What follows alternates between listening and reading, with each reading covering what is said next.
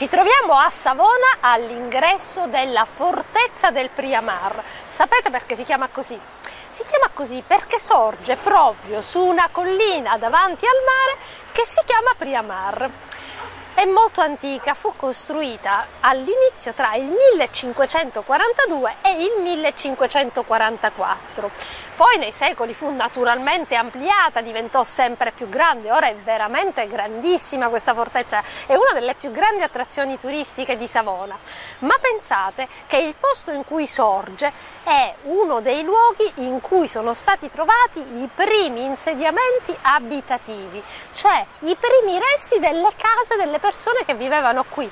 E sapete a quanto risalgono? A moltissimi anni fa, addirittura a 1600 anni prima che nascesse Gesù Cristo, in quella che si chiamava quindi età del bronzo.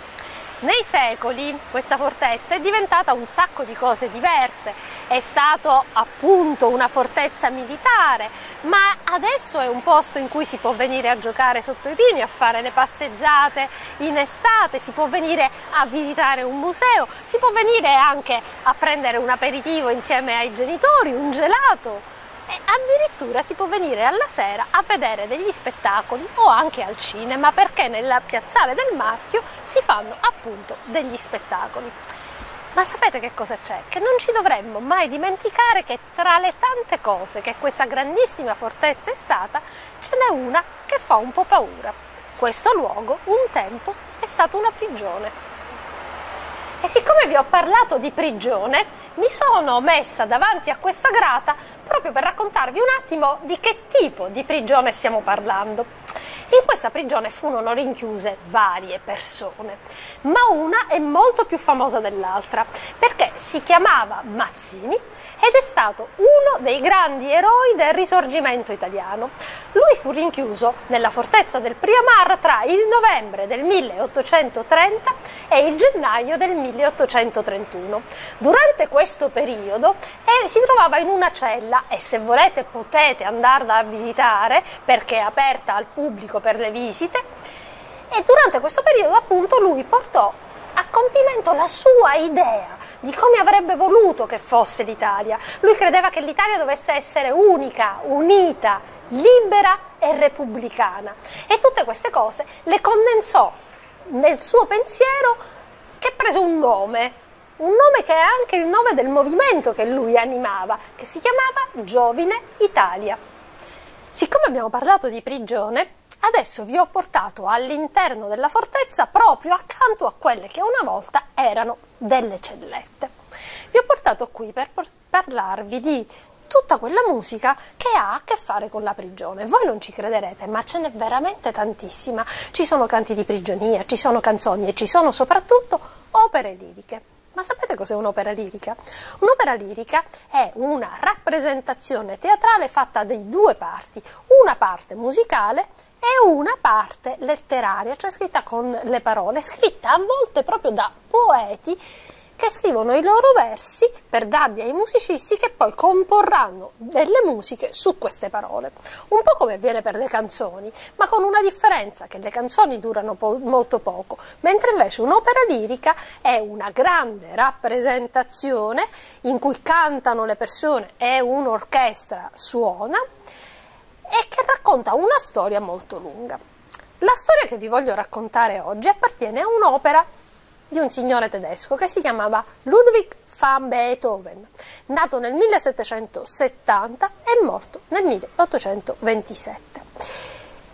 Quest'opera fu scritta tra il 1803 e il 1805 e racconta la storia di un uomo molto cattivo che si chiamava Don Pizzarro, che era il governatore di una prigione vicino Siviglia questo signore ad un certo punto aveva molto in antipatia un altro signore che si chiamava Florestano e per motivi assolutamente personali, senza che Florestano avesse fatto nessun delitto, lo mette in prigione.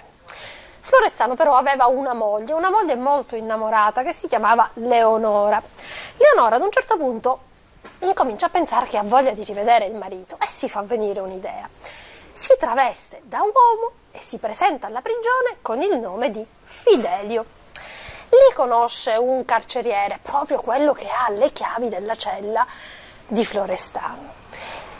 fa amicizia con Rocco e grazie proprio a Rocco andrà avanti l'azione sulla scena fino al momento in cui il giorno dell'arrivo del ministro nella prigione di Don Pizzarro verranno a scoprirsi tutti gli inganni che ha fatto Don Pizzarro per mettere in prigione Florestano. E così l'opera finirà con un grande canto alla libertà perché in effetti il cattivo che aveva imprigionato una persona non colpevole verrà smascherato. Ci troviamo nella parte più alta della fortezza del Priamar proprio accanto a questo minaccioso cannone, perché l'opera della quale sto per parlarvi inizia proprio con un colpo di cannone. L'opera si chiama Tosca ed è stata scritta da un signore che si chiamava Giacomo Puccini sul libretto di altri due signori che si chiamavano Illica e Giacosa. Quest'opera ha una caratteristica, ha l'intero terzo atto ambientato in una prigione. La prigione è quella di Castel Sant'Angelo e si trova a Roma. L'opera è tutta ambientata a Roma. La storia è questa. È la storia di una cantante bella, bellissima, che ha un fidanzato che fa il pittore. Lei si chiama Tosca, il fidanzato si chiama Mario Cavaradossi. Mario Cavaradossi è considerato un rivoluzionario, semplicemente perché lui come vi ho detto di Mazzini, anche lui vorrebbe che l'Italia fosse libera, fosse unita e siamo nel 1800, un periodo in cui l'Italia non è la stessa che noi conosciamo oggi. Un colpo di cannone ha dato, ha annunciato alla città di Roma che è scappato un prigioniero dalla prigione di Castel Sant'Angelo. Il prigioniero si chiama Angelotti ed è andato a rifugiarsi in chiesa dall'amico Mario che lì sta dipingendo un quadro della Maddalena. Mario decide di nasconderlo nella sua casa e quando arriva lì Tosca mm, Mario è preoccupato, dice cose, non dice, dice no vabbè ma stasera forse non possiamo andare a casa Tosca si ingelosisce, perché lei è terribilmente gelosa ed è convinta che a casa di Mario sia nascosta un'altra fidanzata. Così, quando in chiesa arriva anche Scarpia, che è il capo della polizia, Tosca dice una parola di troppo e mette il capo della polizia sulle tracce di Angelotti, fuggito da Castel Sant'Angelo. Il secondo atto è terribile, perché in effetti Scarpia ha scoperto Angelotti e Mario e ha arrestato Mario e lo sta torturando per sapere tutta la verità. Tosco ovviamente è in lacrime, chiede al cattivissimo poliziotto Scarpia di salvare Mario. E Scarpia dice sì, va bene, lo posso salvare, ma le chiede in cambio qualcosa che non è possibile chiedere. Chiede in cambio addirittura Tosca stessa. Lei naturalmente non cede. Non cede e fa una cosa ancora più brutta, ovvero sia uccide Scarpia ma ad un certo punto è l'alba. Lei ha avuto da Scarpia la promessa che Mario sarà salvo e quindi scappa fino alla fortezza di Castel Sant'Angelo dove Mario è imprigionato e gli dice non ti preoccupare, adesso faranno soltanto finta di condannarti a morte, faranno finta di spararti, ma ci saranno soltanto i proiettili a salve nei fucili, quindi quando tutti i poliziotti saranno andati via tu ti alzerai e noi scapperemo insieme. Ma quella era soltanto l'ultima beffa di Scarpia. In realtà i fucili non erano caricati a salve. Sparano e Mario, poverino, cade a terra morto per non rialzarsi mai più. A Tosca non resta altro che buttarsi da Castel Sant'Angelo. È un'opera veramente con una storia terribile, tristissima, ma come, come Fidelio parla di una donna che ama il suo uomo, e che vuole la libertà per il suo uomo.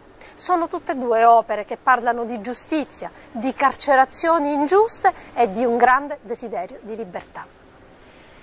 E con questo abbiamo finito il nostro giro qui nella fortezza del Priamar.